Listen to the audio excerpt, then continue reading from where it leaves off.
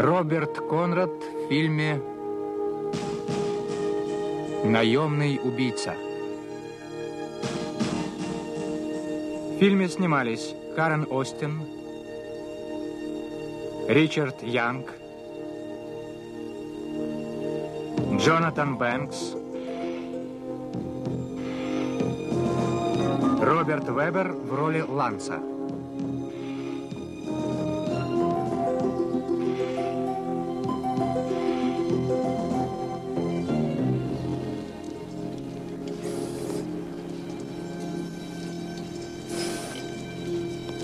Художник Винсент Джей Крессиман. Оператор Чак Арнольд.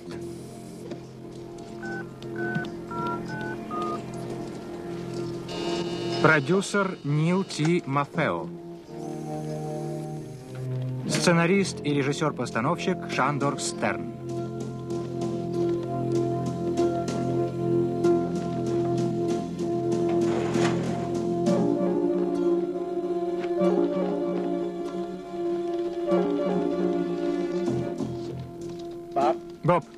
Что ты делаешь? Ты же знаешь, выносить документы запрещено.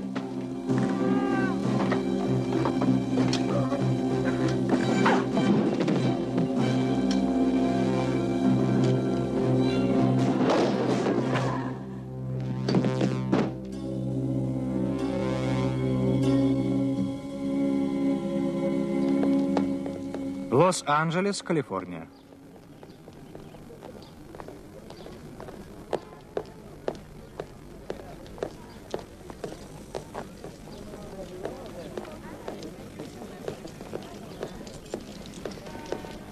Грейс?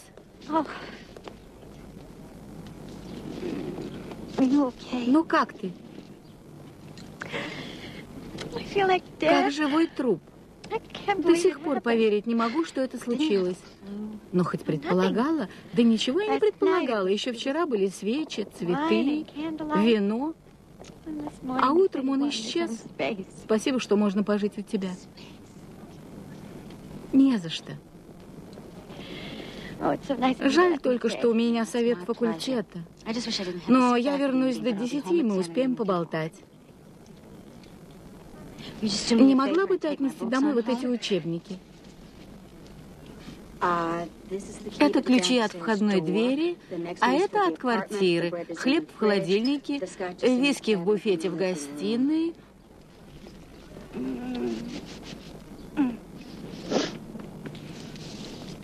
Ладно, до встречи. Все будет хорошо. Надеюсь.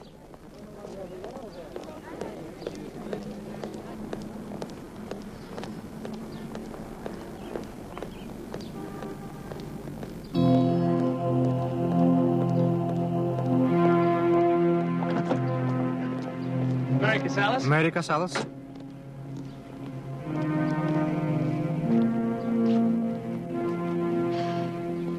Я с вашим агентством больше дел не имею.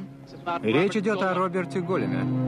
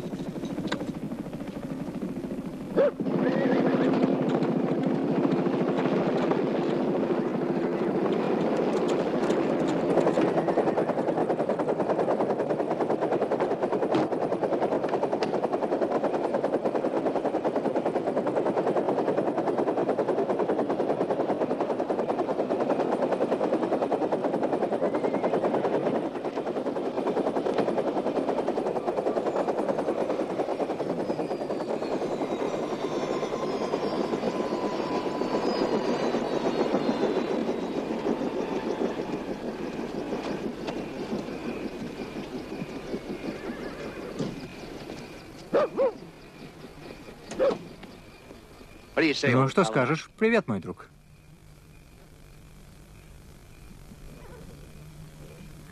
Входите.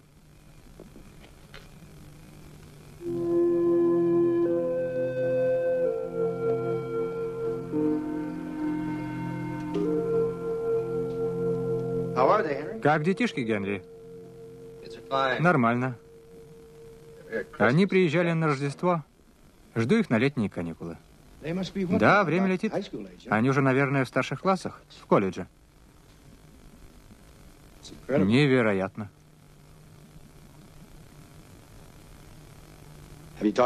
А как Моля?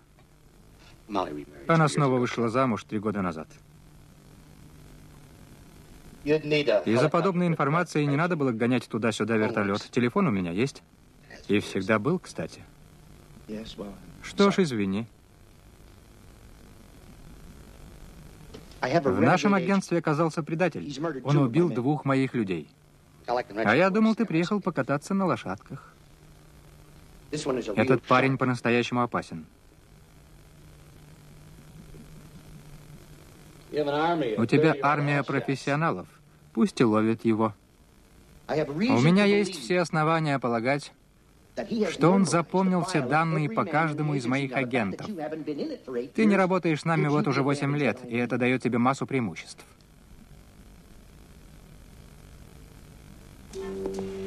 Лос-Анджелес, вторник, 21.35.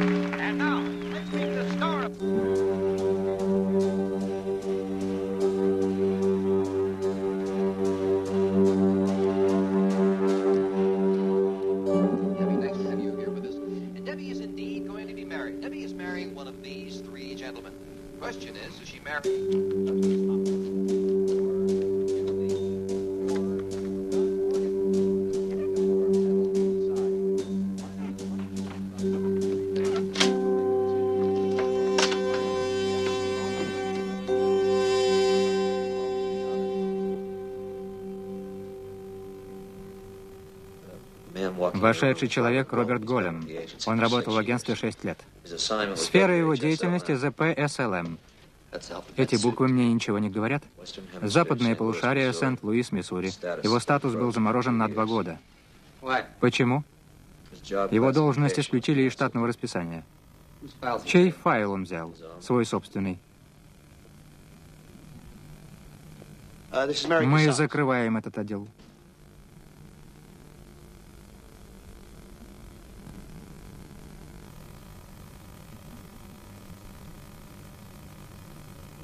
Похоже, ему нравится убивать. В каком управлении он работал? Заказные убийства.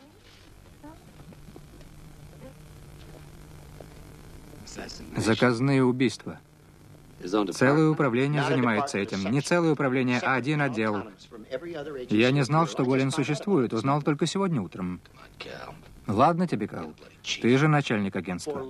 Всего лишь год, а этот отдел организовали шесть лет назад, и два года назад его законсервировали. Помнишь Фила Дрюбери? Да, мы нашли его мертвым шесть часов назад, самоубийство. Он оставил вот это. Все, что я сделал в своей жизни, было направлено на благо страны. А все, что я не доделал, доделает Голем.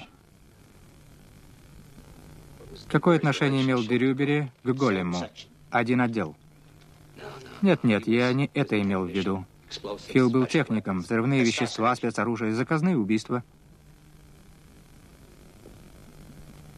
Психологические тесты показали, что ему очень не понравилось то, что сделали с его отделом.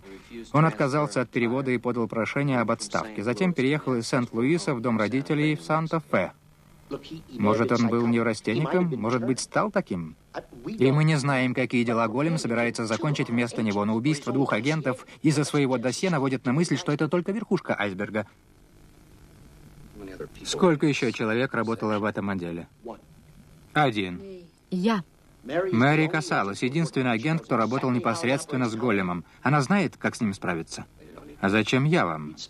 Он засечет ее прежде, чем она подберется к нему на милю. Старые добрые времена прошли, Генри. Прошло время таких идеалистов, как мы с тобой. В отличие от нас, Голем не романтик-агент, а убийца-профессионал, машина-убийца. И ни одному из действующих наших агентов не удастся подобраться к нему. Нам нужен ты. Бог мой, есть ведь и другие бывшие агенты. Они не твоего калибра. Конечно, если искать только в пределах Лос-Анджелеса. Роберт Голем способен на убийство. Куда он направился? Не знаем. Он выбрался из Сент-Луиса, и мы не смогли взять его. Я знаю, куда бы я пошел, если бы Мэри Касалас была единственным человеком, кому известны методы моей работы. Она была бы слишком опасным человеком для меня. Если бы он пришел ко мне, это было бы замечательно. О, Боже! У меня сейчас живет подруга. Вы набрали номер 555-3247. Меня дома нет, но если вы оставите свой номер телефона, свои данные и краткое послание, то я обязательно перезвоню вам. Грейс, это Мэри. Возьми трубку. Мне надо срочно поговорить с тобой. Грейс, Грейс, возьми трубку, прошу тебя. Она могла уйти? Нет, у нее мои ключи от дома. Она должна была дождаться меня. Грейс, пожалуйста, возьми трубку. Грейс, возьми трубку.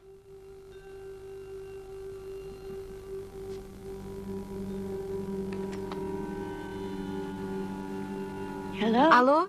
Грейс. Мэри. Привет. Я выпила всю бутылку виски. Грейс, сделай одолжение. Не задавай мне никаких вопросов. Срочно уйди из дома. Поняла? Уйти? Да, это очень важно. Уходи. Но почему? Что я такого сделала? Ничего, дорогая. Не надо никаких вопросов делать так, как я говорю. Что-то случилось? Ко мне сейчас может прийти один человек, психопат-маньяк. Я же цепочку накинула на дверь. Цепочка для такого психопата ничто. Грейс, ты меня слышишь? Грейс, ответь мне. Цепочка сорвана. Немедленно уходи. Немедленно, слышишь? Немедленно.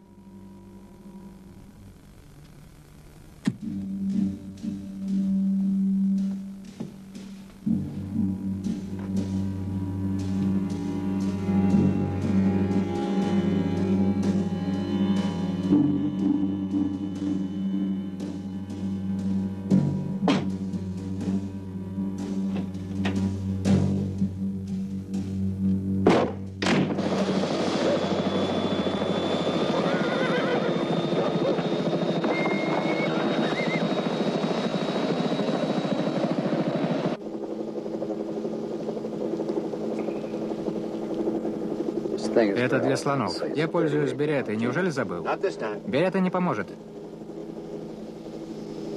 Тебя что-то смущает? Ты нет, он да. Будет шанс выстрелить, цельтесь в живот. Он носит бронежилет. И между глаз тоже? Цельтесь в живот.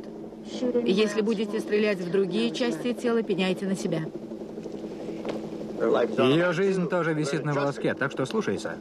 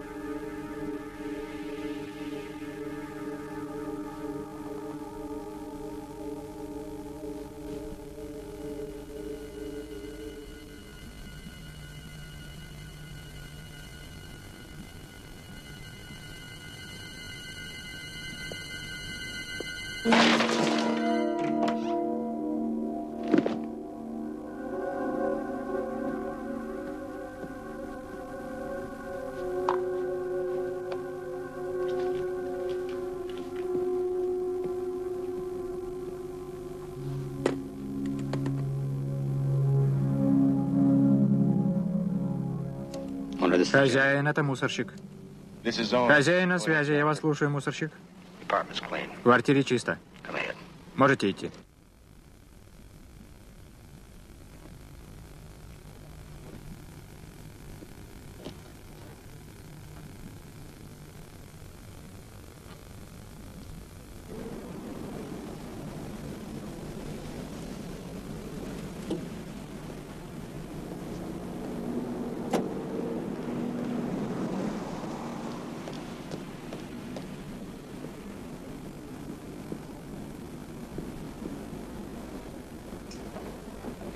Алло?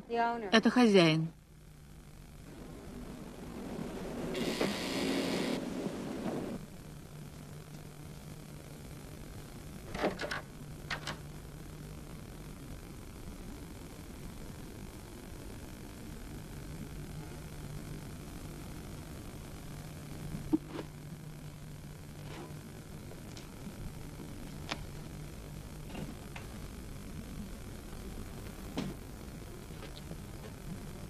Эти книги ваши? Или их оставил ваш бывший ухажер? Отчего же? Разве есть книги, которые женщина не может читать?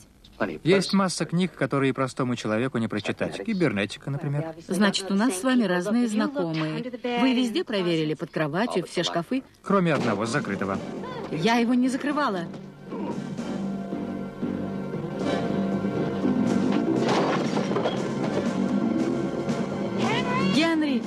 Осторожно!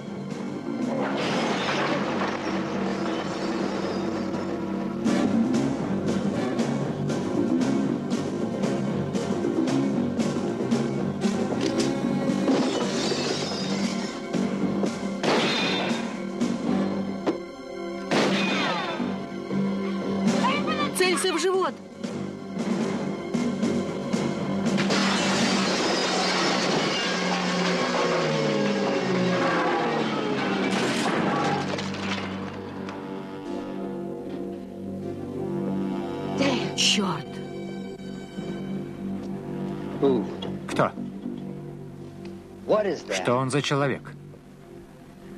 Он робот.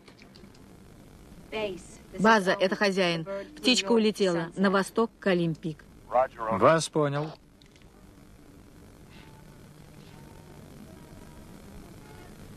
Извини. Я хотела предупредить тебя с самого начала. Извини. Меня чуть не пришили, черт тебя побери. Ланс боялся, что ты не согласишься, если узнаешь, кто он. Что случилось, черт побери?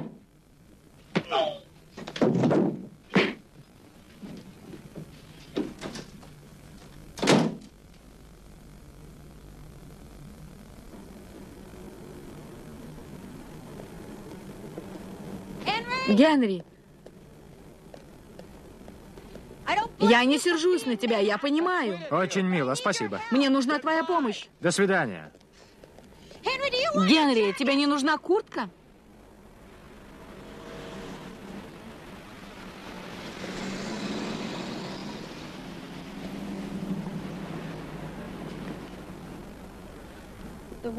У робота нет на тебя досье, а это означает, что он не знает ни твои достоинства, ни твои слабости, ни твои методы работы. Лучшего агента нет. Я не агент. И Ланс мне не босс. Меня проблемы агентства не волнуют. Тогда спрячься где-нибудь, пока они сами не найдут этого робота. Я должна найти его.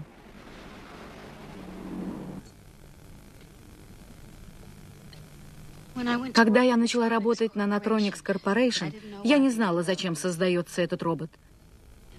Потом проект был передан агентству, меня попросили поработать с ними, и я согласилась. Для меня большая честь сделать что-либо значительное для моей страны, и мне льстило, что они с уважением относились к моей работе. Пять лет назад за рулем своей машины был застрелен один дипломат.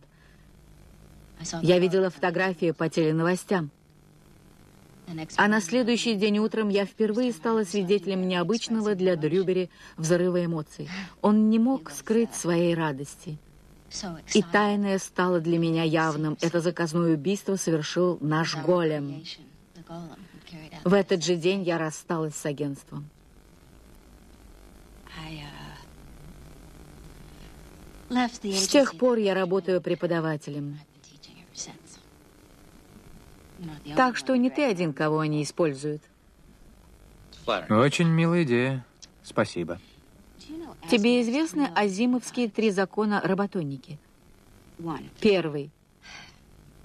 Робот не должен ни при каких обстоятельствах нанести физический вред человеку. Второе. Робот должен выполнять все приказы, отдаваемые ему человеком, за исключением тех, которые вступают в противоречие с первым законом. Третье. Робот обязан защищать себя, свое существование до тех пор, пока такая защита не вступит в противоречие с первым или вторым законами. Создав робота-убийцу, мы нарушили все три закона. Дрюбери с самого начала хотел получить робота, профессионального убийцу. Мы не знаем, кто является потенциальной жертвой, не знаем, сколько их. Ими могут оказаться конгрессмены, даже президент. Но любой, кто попытается помешать Голему выполнить эту программу, обречен. Голем запрограммирован на выполнение этой программы и не погибнуть при этом. Ешь пирог.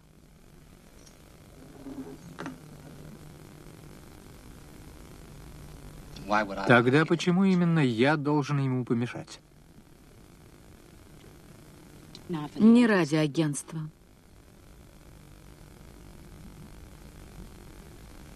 Может быть, на благо своей страны?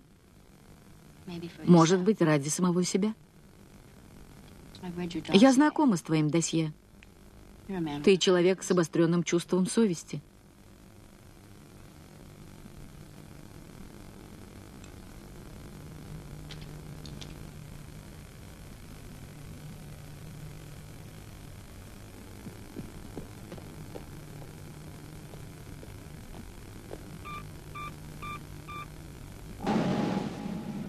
Я пошла работать в Natronics Corporation, получив диплом по кибернетике. Они как раз работали над созданием человека-робота. Я отвечала за систему контроля, прежде всего сенсорную. Этот гуманоид имеет бинокулярное зрение, инфракрасные сенсоры, слух, которому позавидует любое животное, осязание, чувство боли полностью отсутствует, равно как и обоняние и вкус. Доктор Дрюбери занимался моторикой. У робота чрезвычайно развиты качества, необходимые для нападения и обороны. 800 градусов по Фаренгейту для него – ничто. Его не берет никакая пуля, если только не стрелять в него с расстояния в 6 футов, калибр не меньше 9 миллиметров. Пуля всего лишь пробьет кожу, уязвимое место, область живота и только. Почему область живота? Обычно пытаются попасть в грудь или в голову. Мы уменьшили для него риск, поместив мозг в нижнюю часть живота. И это единственная его слабость. И еще одна. Он не должен ни при каких обстоятельствах попасть в руки противника. Тогда он оказывается полностью беззащитным, не может ни убежать, ни сопротивляться. Робот запрограммирован на самоуничтожение. Каким образом? Он взрывается. Хорошо, если ты не оказался в этот момент поблизости. Что еще? Мы решили не использовать плутониевые батареи. При взрыве могут быть радиоактивные осадки. Источник питания для него – солнечная энергия через глаза. Но для активной деятельности этого оказалось недостаточно. Он вынужден каждые 72 часа подзаряжаться от электрического источника. Он должен сначала найти самое безопасное для себя место и подключиться к обычной розетке.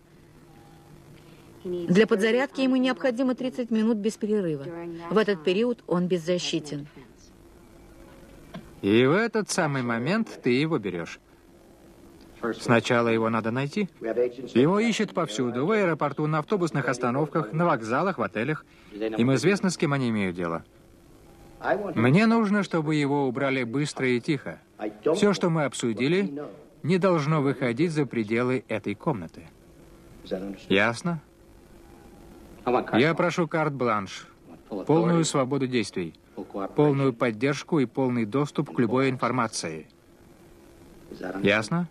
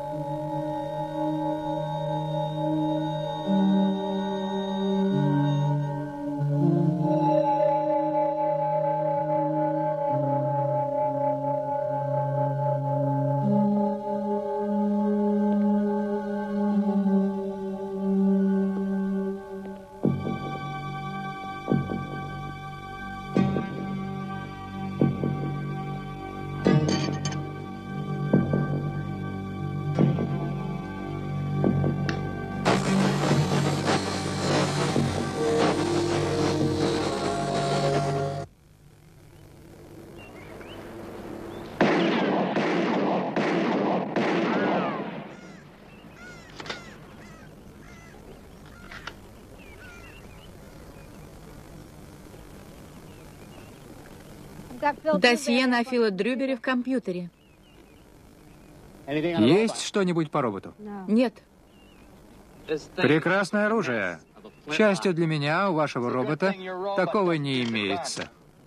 Он сбивает выстрелом пламя на расстоянии до 200 футов. Очень мило.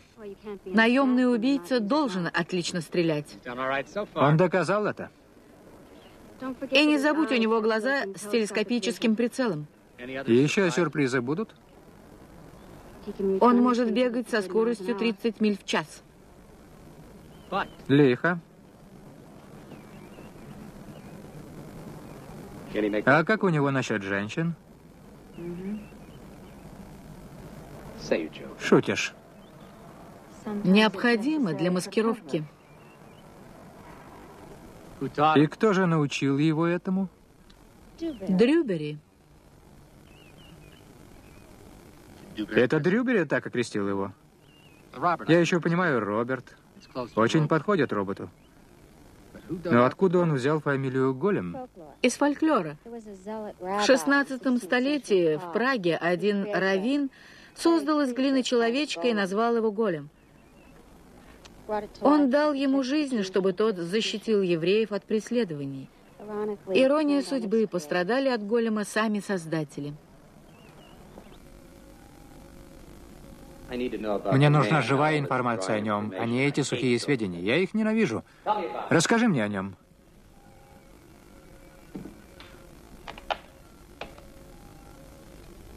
Особо рассказывать нечего. Пунктуальный, аккуратный человек. Мало разговорчив, когда дело не касалось работы.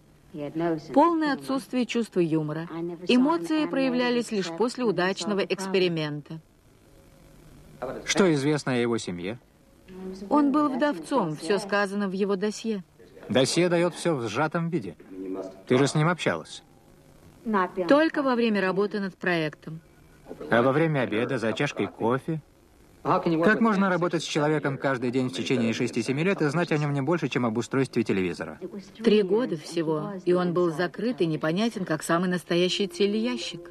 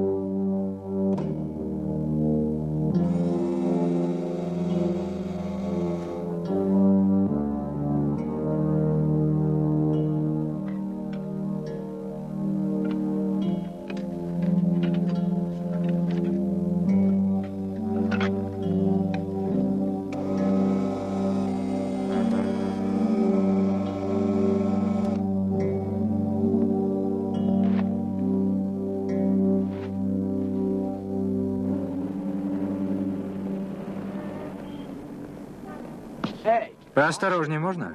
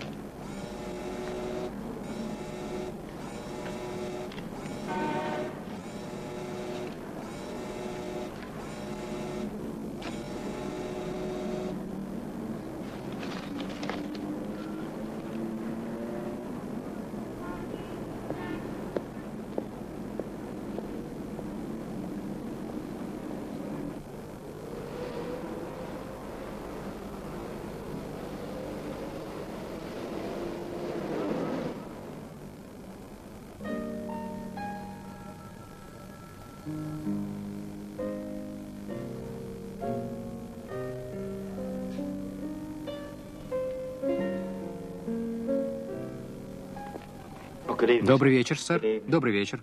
У вас во всех номерах индивидуальные кондиционеры? Да, сэр. Прекрасно. Мне нужен номер. Любой не выше пятого этажа. Не выше пятого? Хорошо, сэр, я подберу вам номер. Я не могу сказать, когда я появлюсь дома, Грейс. Через день или два, может быть. Я не могу сказать тебе, где я и что делаю. Да, я скрываюсь от одного маньяка. Давай поговорим о чем-нибудь другом. Как у тебя с Джеффом?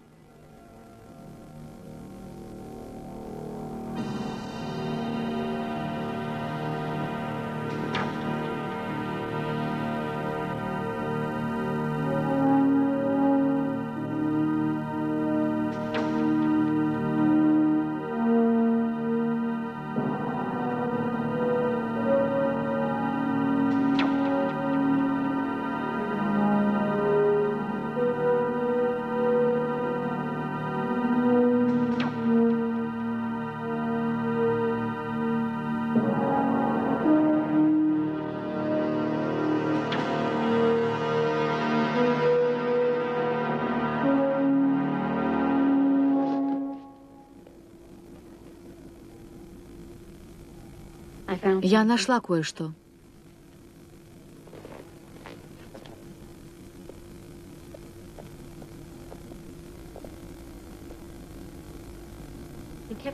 Он вел дневник. Я совсем об этом забыла. Он постоянно вел дневник? Все три года, пока я работала с ним. Не сомневаюсь, что он вел дневники все годы, пока работал над проектом. Их должно быть очень много. К тому же такой человек, как он, никогда бы не уничтожил их. Алло? Уже выезжаем. Поехали, доктор.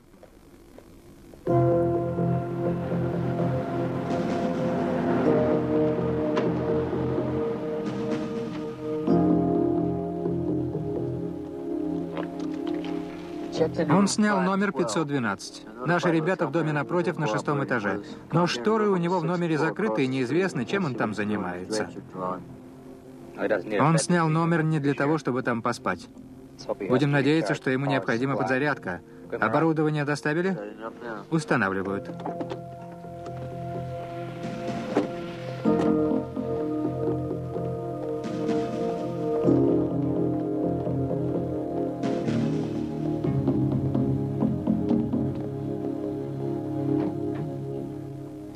Может, просто ворвемся и пристрелим его? В момент подзарядки, и тогда никто из наших не пострадает. Взгляните, этот отель сидит на таком низком напряжении. Ему нужно 220 вольт, значит, ему необходим кондиционер. Все просто. Я не думаю, что сегодня вечером все клиенты будут пользоваться кондиционерами. Когда он включит свой, мы тут же засечем его. А можно отключить напряжение и вывести его таким образом из строя. У него есть запас энергии, и он также опасен. Он только что вышел из номера. Куда? Пошел в бар. Прекрасно. Времени на подзарядку у него было мало. Мы можем подготовиться. Спасибо.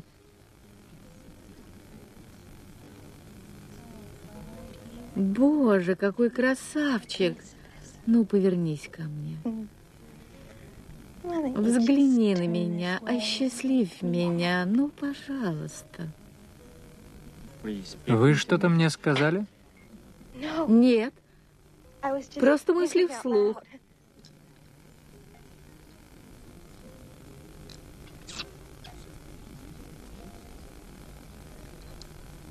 А вы впервые в нашем городе? Да.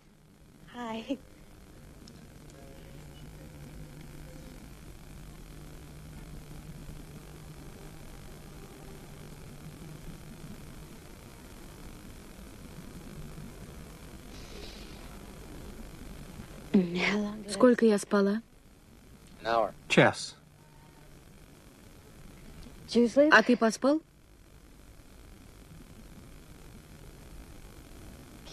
Обманываешь, усталым не выглядишь.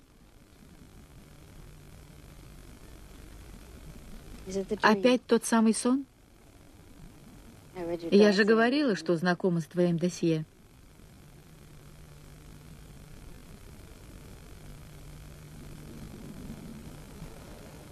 На какое-то время он исчез. А то был каждую ночь. Он вернулся? Вернулся. Я знал, что мне это будет вечно сниться. Бомейди был террористом. Хуже того, он финансировал террористические организации во всем мире. Я не виноват перед Бомейди. Мне было приказано ликвидировать его. Только его. В его одноместном частном самолете. Но у него изменились планы. В этой авиакатастрофе погибло 167 ни в чем не повинных людей.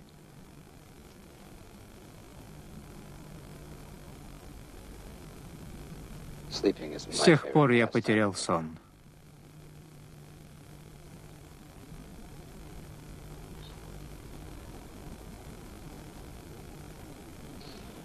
Твое досье оказалось неполным.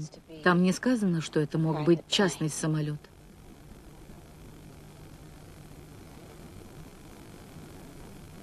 Видишь, я уже так много о тебе знаю.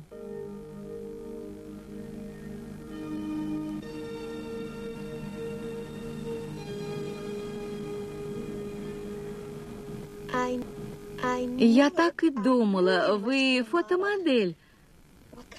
А что вы демонстрируете? Тело. Обнаженно? Как правило. В порножурналах? В научных журналах. Шутите. Правда? Мне надо идти. Так рано. У меня деловая встреча. Подождите. Секундочку.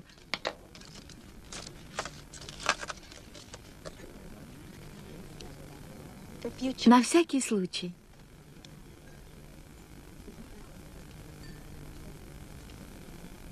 Спасибо, Анна.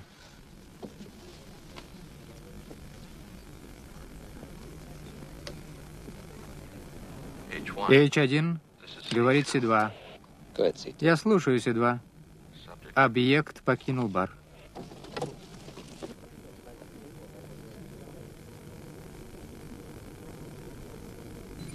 Он вышел на пятом этаже.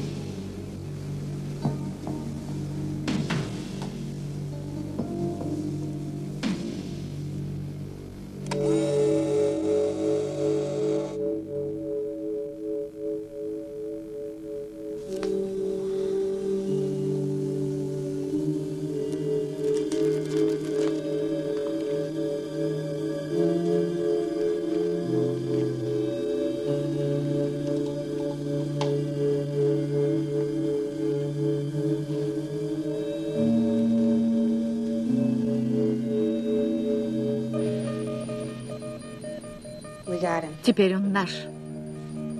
Взять его.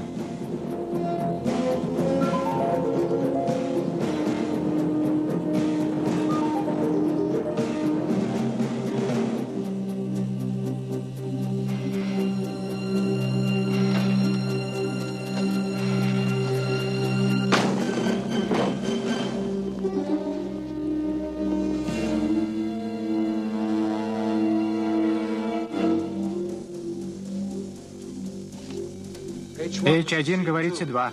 В номере его нет. Проверили? В номере никого. Он пошел в другой номер. Всего 27 минут, чтобы узнать, в какой. Давайте всех ваших людей. Одного снайпера у парадного входа, одного сзади отеля на случай, если он проскочит мимо нас. Сколько номеров в отеле? 500. Выше пятого этажа он не поднимается. Если придется прыгать, то невредимым он останется, если высота не более 50 футов. Все номера с пятого этажа до первого. Оригиналы ключа есть? Да, сэр. Они помогут уменьшить материальный ущерб от наших действий.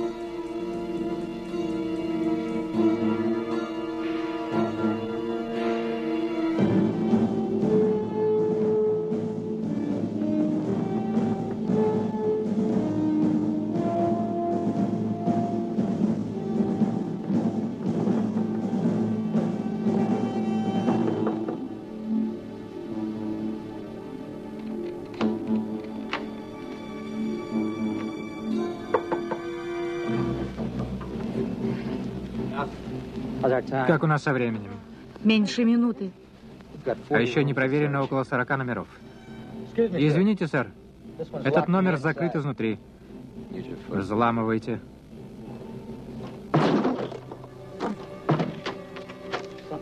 Дверь изнутри чем-то поджата.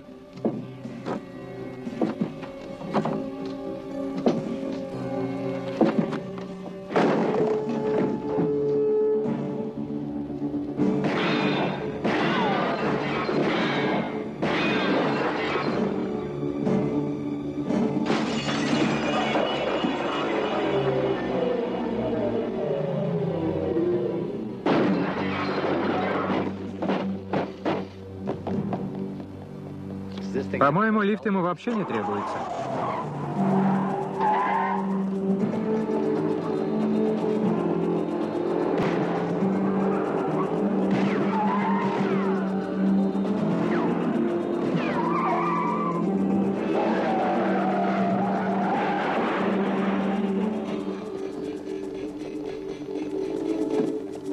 Нет, вы видели, как этот козел сиганул?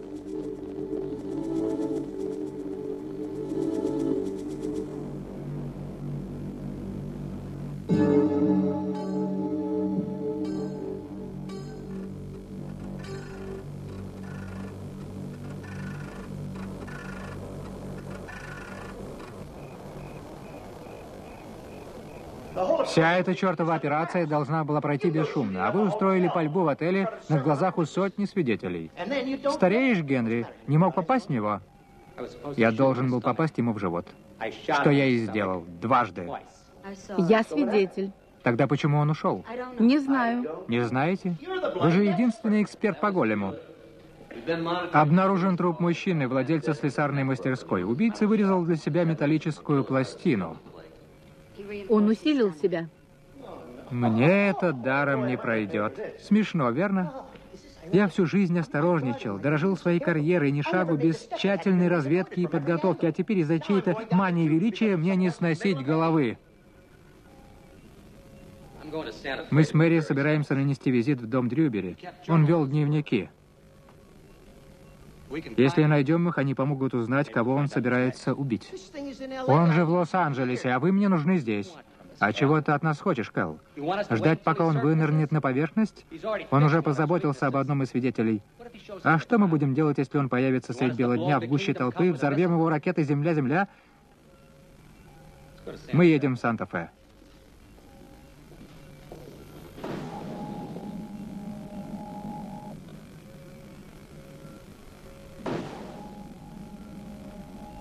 Что за дневники он имеет в виду? Мы перерыли весь особняк Дрюбери. Если бы эти дневники существовали, мы бы нашли их. Вот что, не спускайте глаз с этих двоих. Если они найдут дневники, немедленно дайте мне знать. В них может оказаться информация неприглядная для нашего агентства.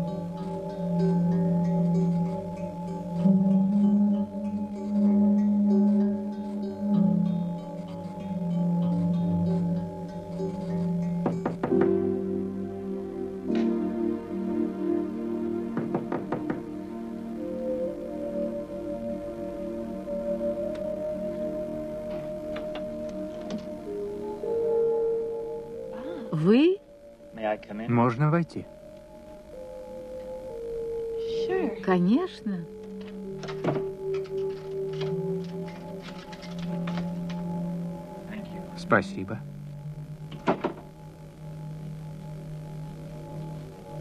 Что с вами? Все нормально. Могу я воспользоваться вашей ванной? Да, конечно. Она вон там, за углом. Что случилось? Деловая встреча закончилась неудачно. Так это дырки от пуль? Вы шутите? Легкие ожоги.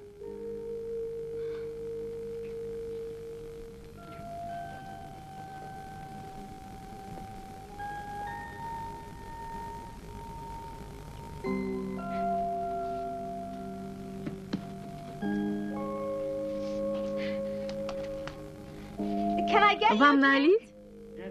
Да, спасибо. Хорошо.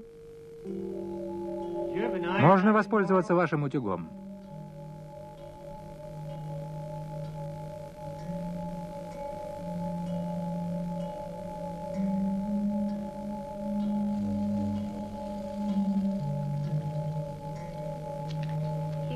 Прошу. Спасибо.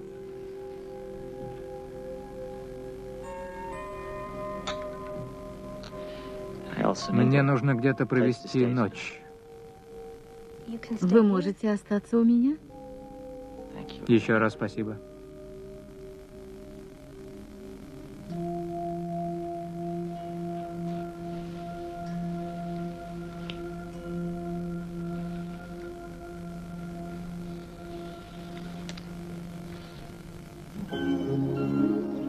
Санта-Фе, четверг, 11 часов 20 минут.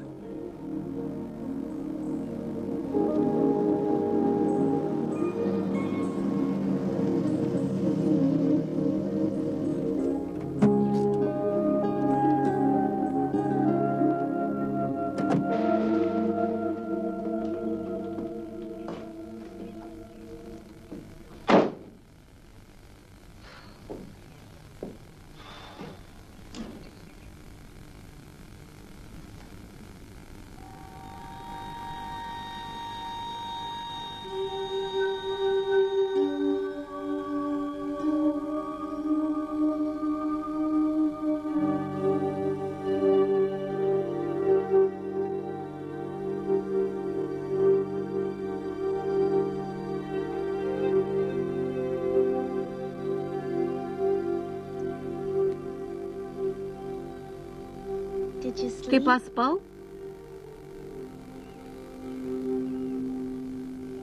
Боб.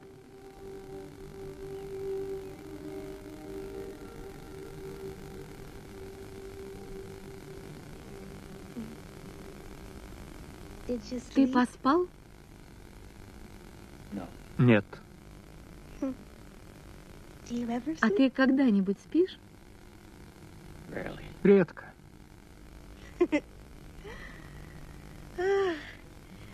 И никогда не устаешь. Я тому свидетель.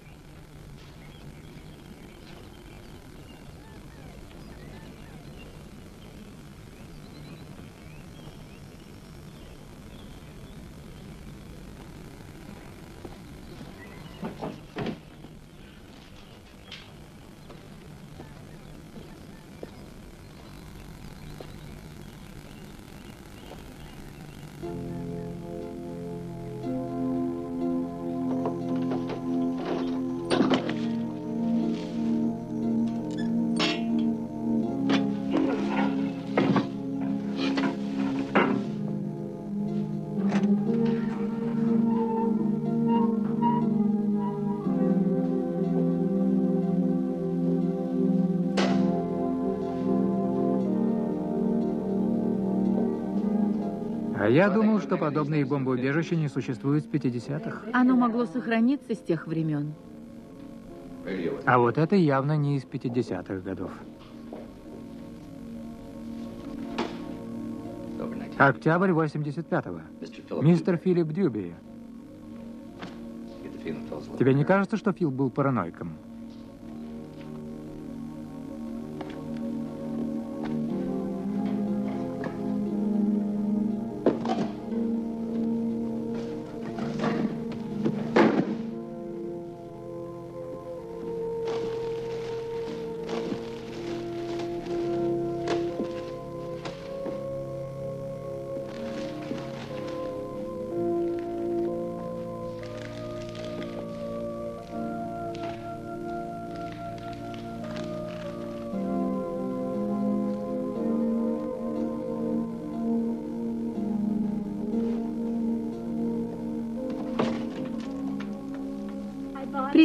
Я купила его в магазине на нашей улице.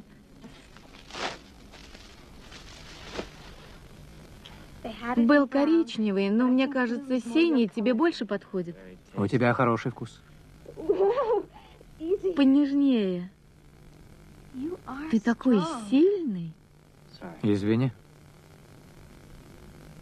Но мне это нравится.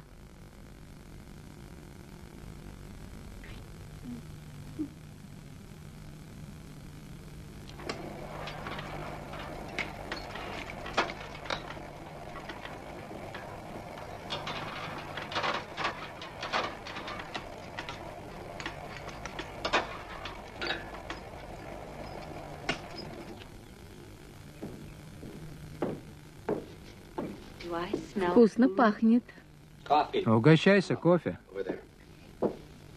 Ты это проверила? Изобретательный был человек.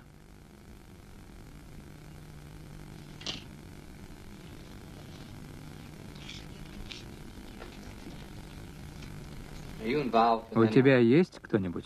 Это личное и к работе не относится. Но ты же читала мое досье?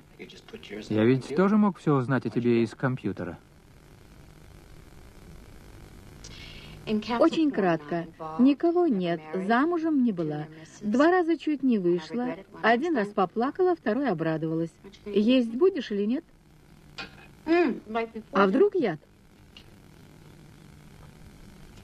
Совершенно безвкусно. Это же воск. Представляешь, он подделывал еду. Что тут странного? Он же подделывал людей. Но ведь он больше тратил денег на воск. Угощение обошлось бы ему дешевле. А может быть, ему не хотелось, чтобы такие, как ты, являлись к нему домой и пожирали его экспериментальную пищу? К нему гости не ходили. Он был отшельником.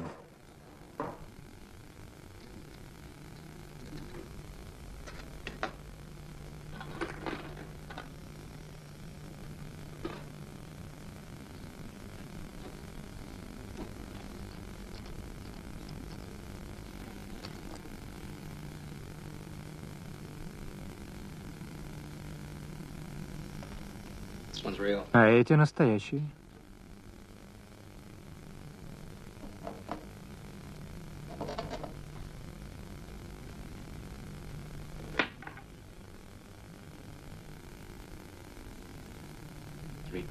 Три двадцать два. Киллер. TBL 8505. Изготовитель ключа и код. Друг мой, это не юрисдикция ФБР. Просто у нас возникли проблемы с одним из наших агентов. Случай чисто психиатрический. Да ладно тебе, Оливер, неужели ты веришь этим сказкам? Какой человек может бегать со скоростью 30 миль в час? А мне наплевать на то, что говорят какие-то свидетели. Мы стреляли по нему, потому что он опасен, но это касается только нас и местной полиции, а не ФБР. Мы сами разберемся во всем, поверь мне. Ладно? Вот и хорошо. Когда я вернусь в Вашингтон, пообедаем вместе. Пока.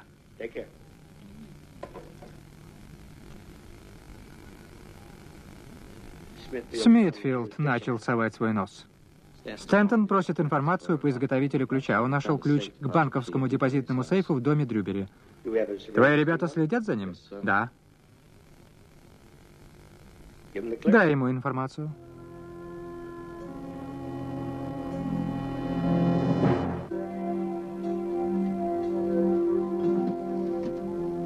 Спасибо.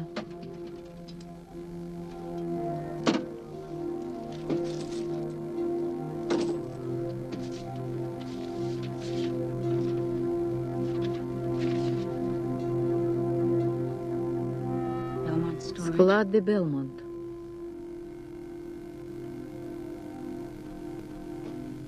Боб, я тебя еще увижу?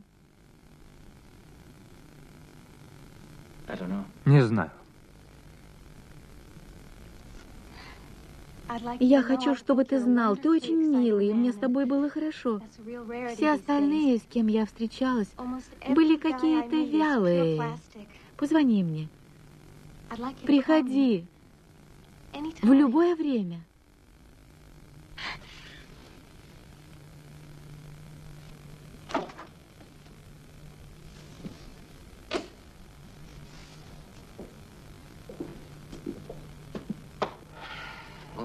Ну что, начнем? Начнем.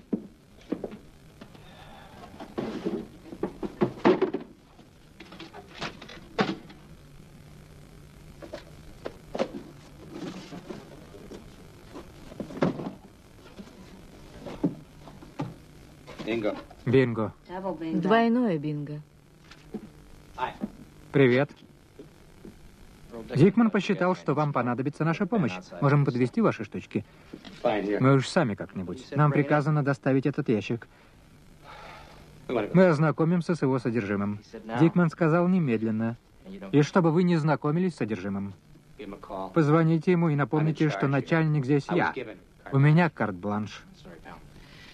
И извините, позвоните ему сами. Я слишком занят. Пошли, Тоди. Согласны, что здесь я даю приказы? Да. Ящики на пол. Мы же делаем общее дело. Я в этом сомневаюсь. Ящики на пол.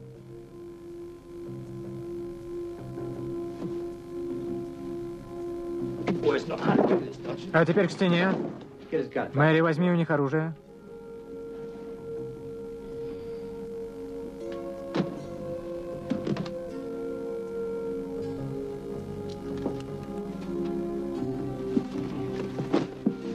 Привезете записку от Дикмана, я верну вам оружие. Вы знаете, где нас найти?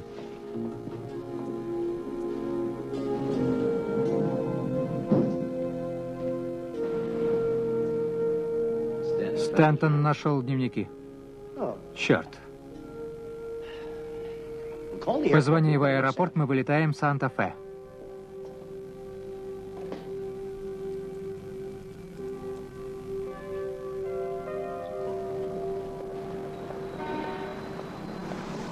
Встреча с автором с двух до пяти. Пожалуйста. Как вас зовут? Катрин. Катрин. Очень мило.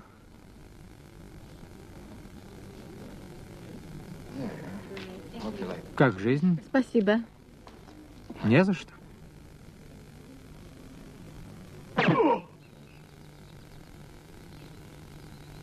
Санта-Фе, пятница, 7.35. В холодильнике пусто, а я так есть хочу. Опять? Ничего не поделаешь. Я запрограммирована на прием пищи три раза в день. И на 8 часов сна.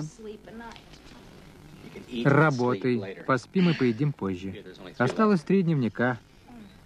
Ты только послушай. Пол Клемент создает в Вашингтоне лобби с целью добиться сокращения военных расходов на 50% на 7 лет.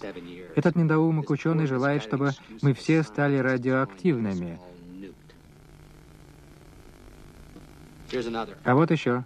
Сенатор Стэн Хаус снова лезет из кожи вон, лишь бы прикрыть проект ракет МХ.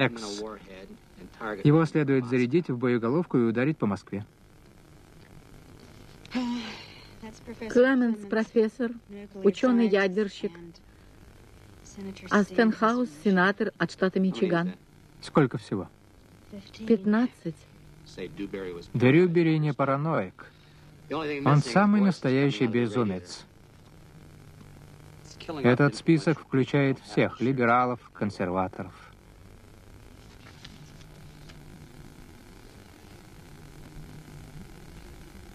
Вот, послушай.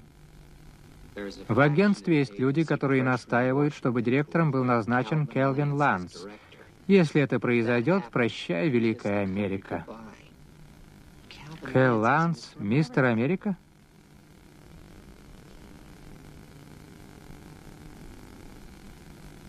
Ты что-то нашла? Нет. По-моему, пора звонить Келвину.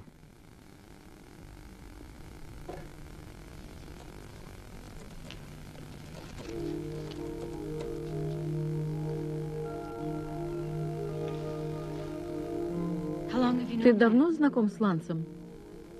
Он завербовал меня, когда я учился в Стэнфордском университете. Он в то время отвечал за ближневосточный сектор.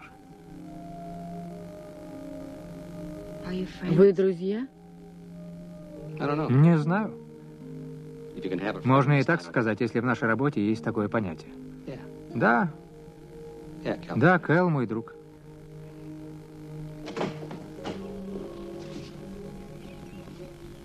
Вы принесли записку от Дикмана? Мы привезли самого Дикмана. А я пытаюсь связаться с тобой, Ланс. Что происходит, Генри? У нас был договор, Кэл. Полная свобода действий, полная поддержка, полный доступ к информации. Дикман пытался все изменить. Что скажешь, Эрл? Сэр, я думал, что будет лучше, если эти дневники окажутся в агентстве.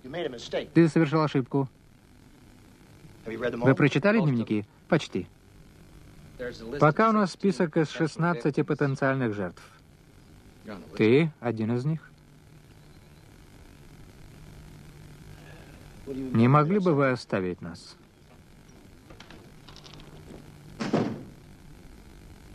А Маркус Бэйнс, писатель, есть в этом списке? Да. Вчера Голем убил его. Можно посмотреть на этот список? Можешь дописать себя. Не все из них мерзавцы. Как запрограммирован на них голем? По географическому принципу. Значит, он убьет всех по списку в Лос-Анджелесе и поедет в другой город? Не обязательно. Бэйнс жил и работал в Вашингтоне. Если Голем был запрограммирован на его убийство, он поедет туда, где можно будет без эксцессов выполнить это задание. Раз он начал с Вашингтона, то следующей жертвой может стать сенатор Корбин. Этот Корбин ненавидит наше агентство. Что вы пытаетесь доказать, Ланс? Все это попахивает дерьмом, должен сказать. Мне жаль, что у вас сложилось такое мнение о нас. Если конгрессмену угрожает опасность, мы должны защитить его. Ваш долг не защищать, ваш долг собирать информацию. Правда, в последнее время у вас что-то с долгом не совсем в порядке. Войдите.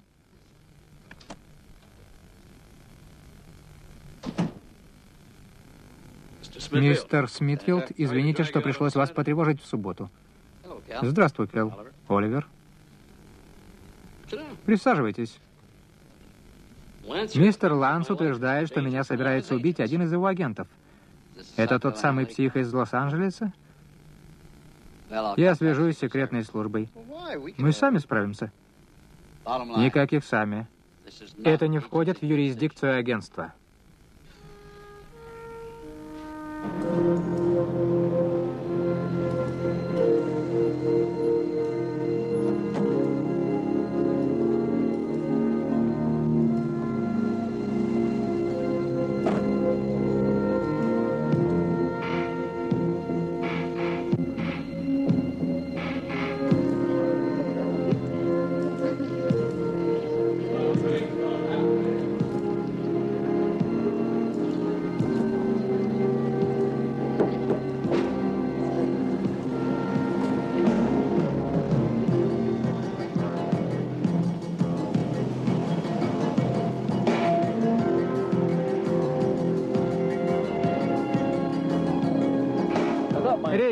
особенно удалась, но тем не менее я дал прикурить этим трусам.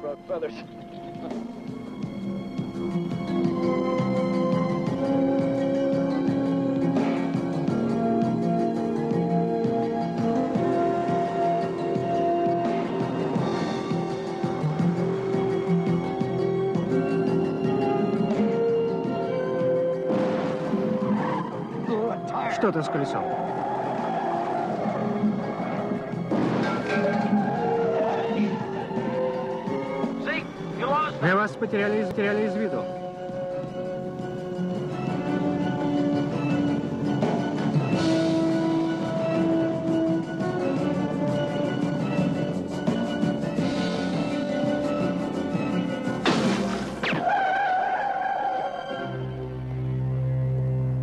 Я требую полной информации. Как его зовут, его досье, и почему этот тип умудрился зацепиться за машину, идущую со скоростью 50 миль в час? Зовут его Роберт Голем, досье его пропало, а делает он то, чему его научили. Так что сделай одолжение, отстань. Убит сенатор Соединенных Штатов. Это уже моя юрисдикция. Не размахивай Конституцией. Я не только буду размахивать Конституцией, но и доложу об этом президенту, если не получу от тебя то, что требую.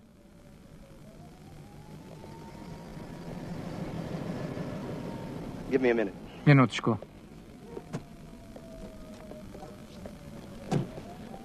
Друг мой, этот оловянный солдатик достал меня. Выручайте. Скажите ему правду. Следующий в списке профессор Гоберман. Что случится, если Голем не найдет его? Остановит ли эту программу?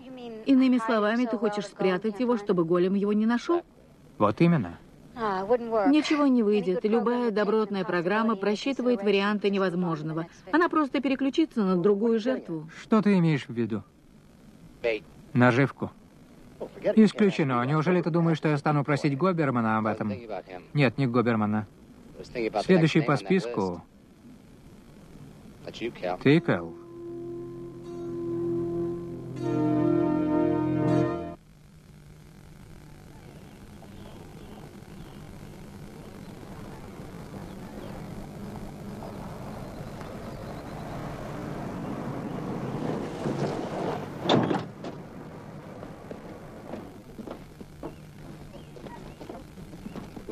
То, что вы сейчас услышите, совершенно секретная информация. К тому же среди нас есть люди, которым не по душе мое решение.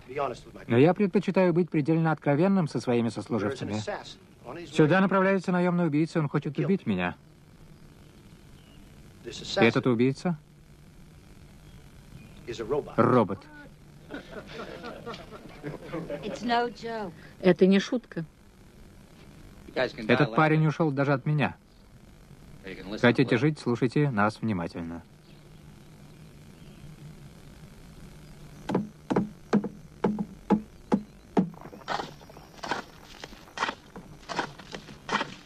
Как идут дела?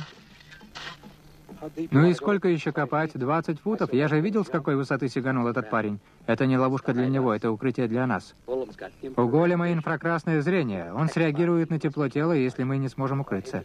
А если эта тварь споткнется и упадет в яму, когда мы будем там, страшно подумать. Люди будут расставлены так, чтобы прикрыть друг друга. Сколько у нас времени? Не знаю, но по моей программе я бы через 48 часов стала искать следующую жертву. Будем считать, что у нас есть 48 часов.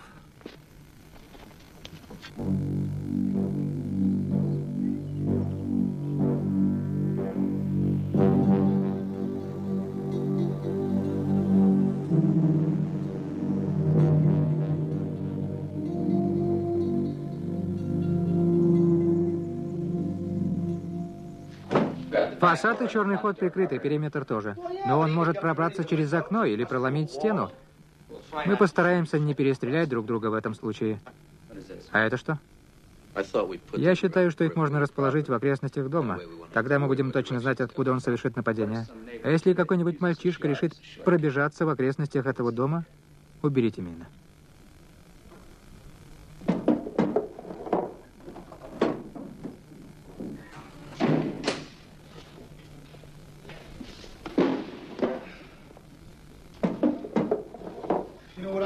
Знаешь, о чем я думаю, Эрл? Мне наплевать, о чем ты думаешь.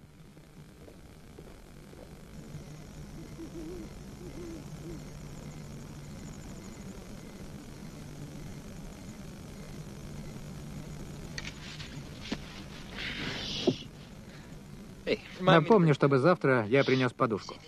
Тихо, эта штука слышит даже дыхание человека. Раньше завтрашнего дня его здесь не ожидают. А если это ошибка?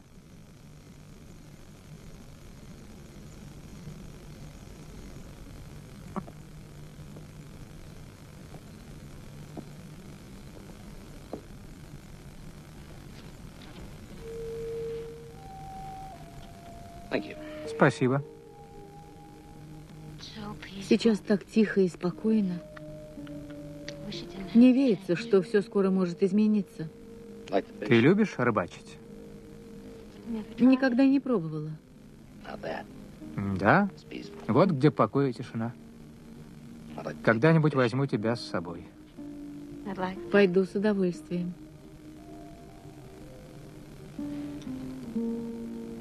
Ты можешь сделать мне одолжение? Не могла бы ты завтра уехать? Нет. Ты сделала все, что было в твоих силах. Пока он не уничтожен, я никуда не уеду.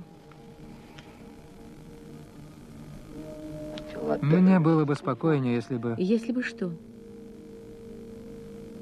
Если бы тебе не пришлось беспокоиться обо мне? Да. Давай поставим точки над «и». Я не умею готовить, я не люблю мыть посуду, приносить домашние тапочки, и я не пищу при виде мыши, пауков и другого дерьма. Одним словом, я сама по себе. Полностью независимая женщина. Вот именно. Такой вариант тебя устраивает? Ну скажи, да. Mm-hmm.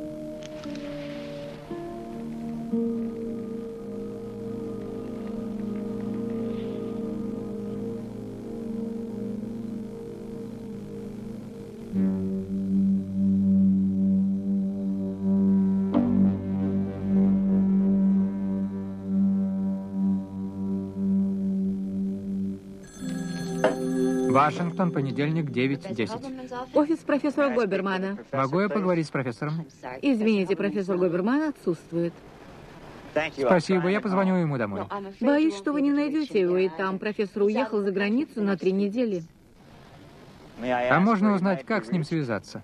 В настоящий момент он на сафари в Кении. Он будет звонить в офис в конце следующей недели. Что ему передать? Спасибо, ничего. Я перезвоню.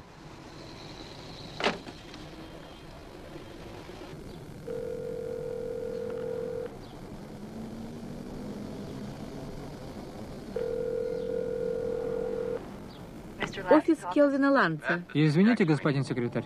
Мистера Ланца нет в офисе. Он уехал из города на несколько дней. Он просил его не тревожить. Ко мне это тоже относится, милая?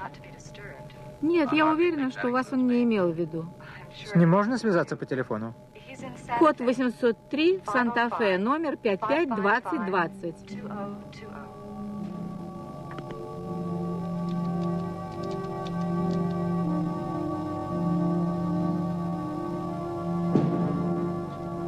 Билет в один конец, пожалуйста, на ближайший рейс до Санта-Фе.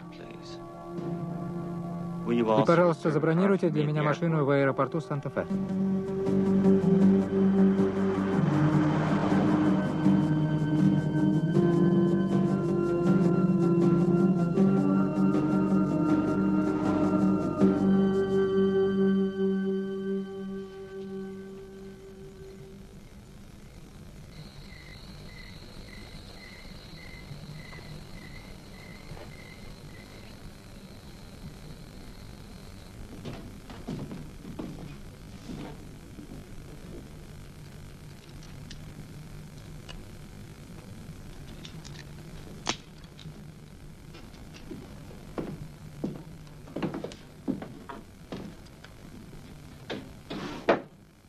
Я связался по телефону с Брэдом. Они занимаются регистрацией дневников Дрюбери. Похоже, что один из дневников исчез. За какой год? 78-й. Очень важный. Вы считаете, что Стэнтон прячет его? Нет, Касалас. Мне он нужен. Да, сэр.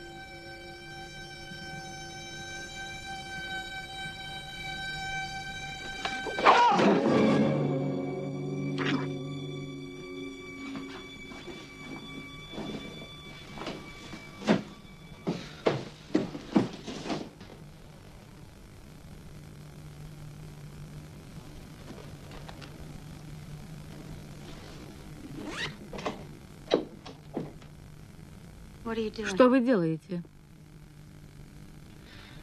Это собственность правительства. Положите его на место. Извините.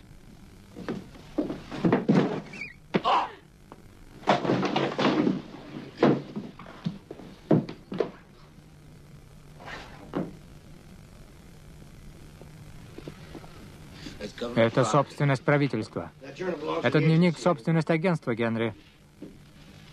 Зачем он тебе понадобился? Все в порядке, Генри. Отдай мне его, вот и все.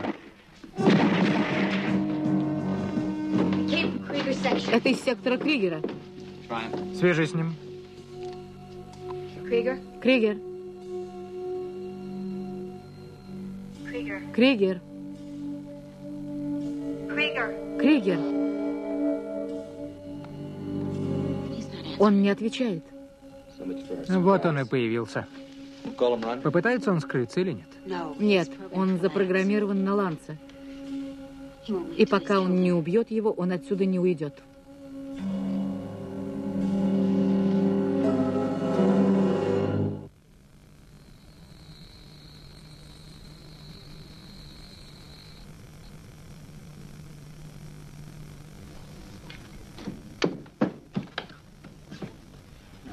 Коль скоро мы сами в темноте, попробуем-ка осветить его.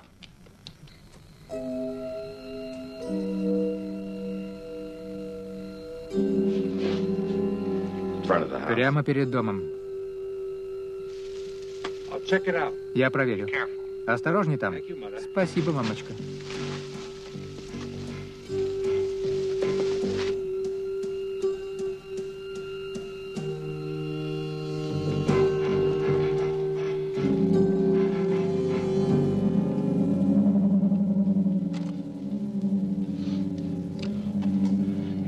Это Кригер.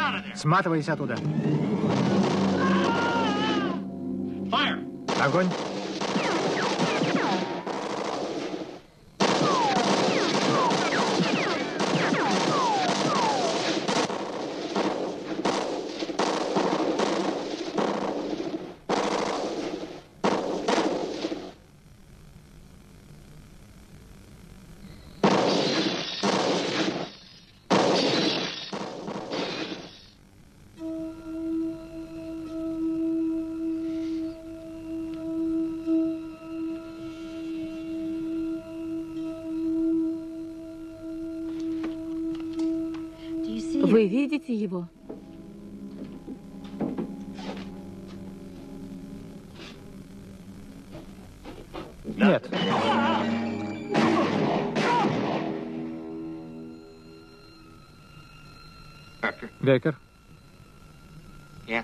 Braans. Becker. werker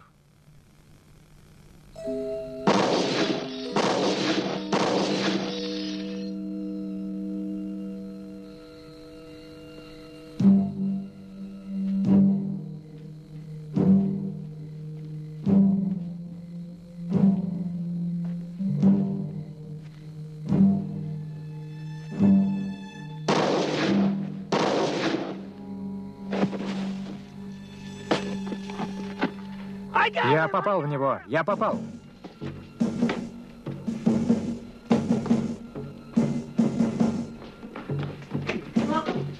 Слоком. Слоком.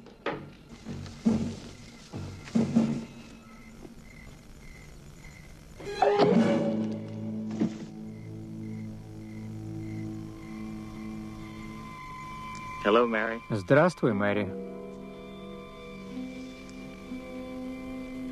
Здравствуй, Боб. Я не сомневался, что ты будешь здесь. Я надеюсь, ты понимаешь, что я не по своей воле пытался убрать тебя. Я понимаю. Ладно. 48 часов прошло, программа изменилась. Теперь моя цель не ты, а Келвин Ланс.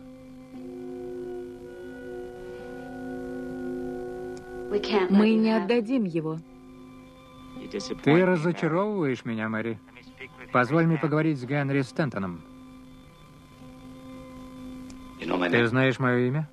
Я все о тебе знаю, Генри. Уже убито шесть человек. Ты хочешь, чтобы были еще жертвы? Не хочу.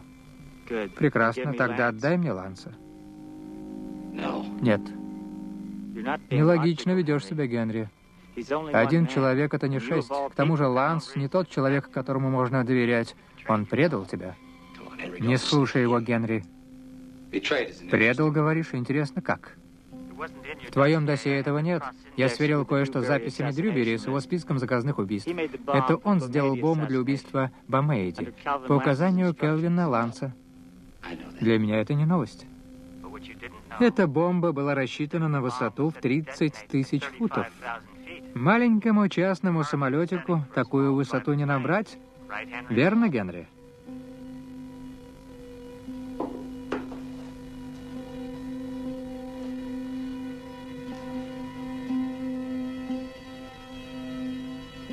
Сейчас главное уничтожить голема. Это было ответственное задание, а ты всегда был совестлив, я не мог рисковать и поэтому не сказал тебе правду.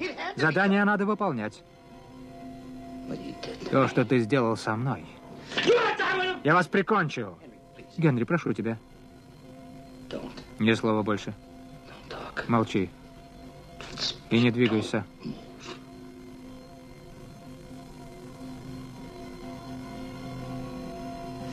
Отдай его мне, Генри. Такого не стоит спасать.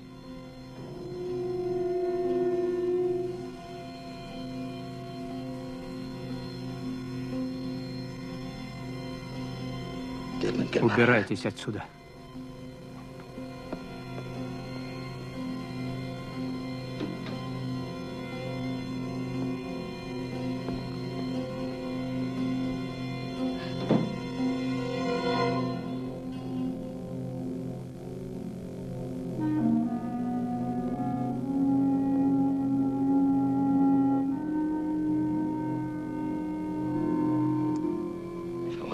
Если бы я хотел его смерти, я бы убил его.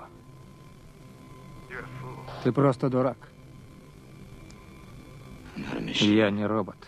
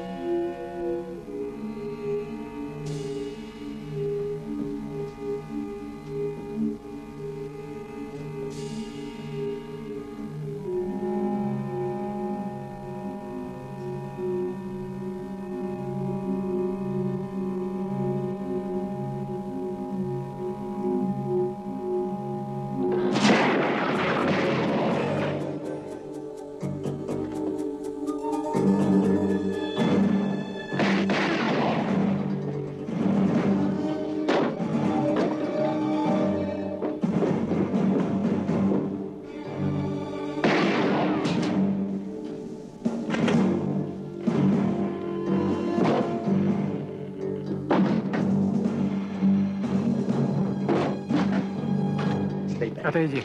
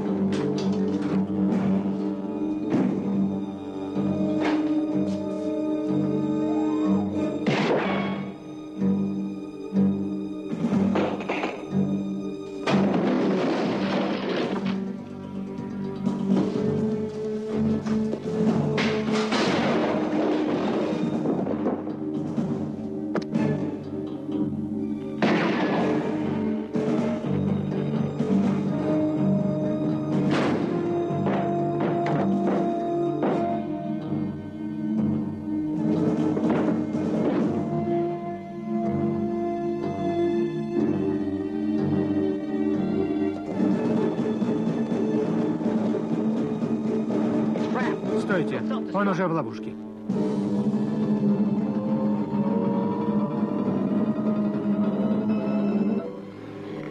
Там же мины.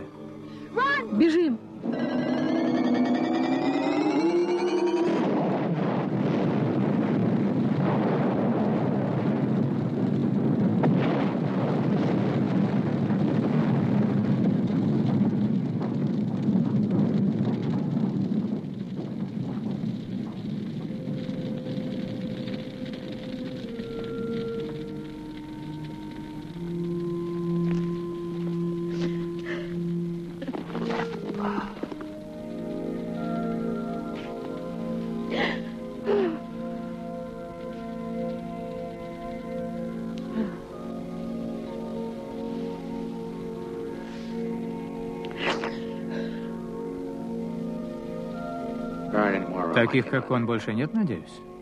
Нет. По-моему. Нет.